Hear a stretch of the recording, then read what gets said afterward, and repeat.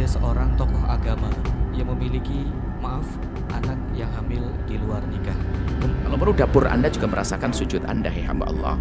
Jangan sholat Anda hanya di musola yang sempit, tidak pernah dibersihkan, pengap, sehingga mempercepat dan mempersingkat sholat. Kan begitu. Assalamualaikum.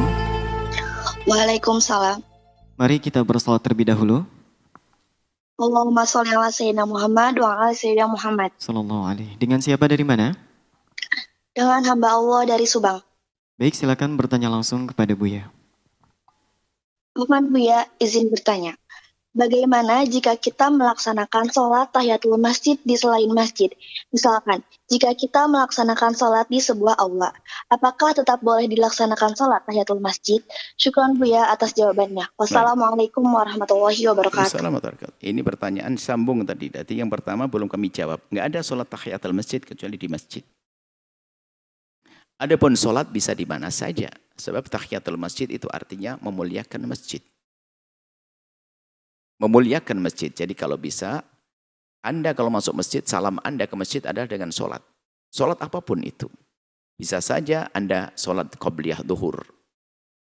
Yang penting jangan Anda berurusan dengan masjid kecuali Anda mulai dengan sholat. Namanya salam kepada masjid. Tahiyat itu kan salam. Begitu juga kalau Anda ke Masjidil Haram, salam Anda adalah tawaf. Kalau bisa. Bukan sholat dua rakaat. Jadi Anda datang ke Masjidil Haram, tawaf dulu salamnya kepada Ka'bah musyarrafah adalah dengan tawaf.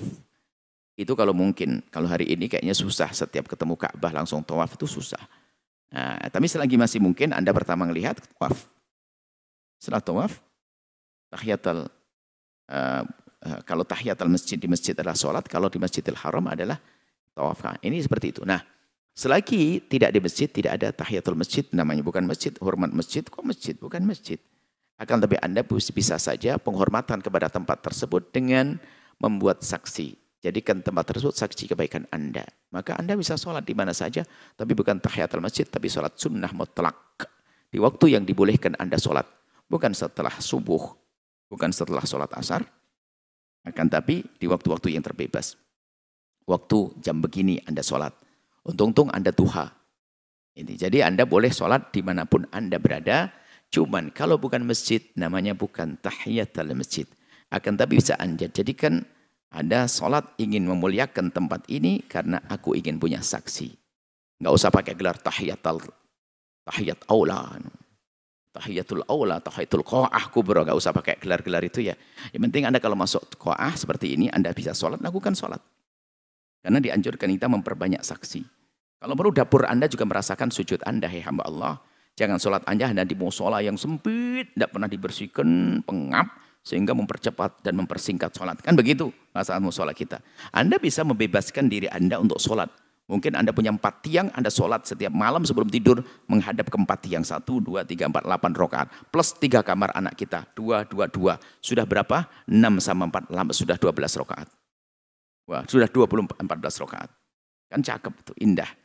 Jadi memperbanyak sholat itu mudah di setiap tempat. Jadi selain selain masjid tidak ada tahiyatul masjid, tapi bukan tidak ada sholat. Tetap dianjurkan Anda memperbanyak sholat, memperbanyak saksi. Apalagi Anda masuk tempat yang baru, asalkan itu halal, Anda sholat di situ agar jadi saksi Anda bahwa Anda pernah sujud di tempat tersebut. Allahu a'lam bishawab. Sahabat TV, setelah menyaksikan video ini, jangan lupa bersolawat kepada baginda Nabi Muhammad. Sallu ala Nabi Muhammad. Allahumma sholli alaihi wa ala alihi wa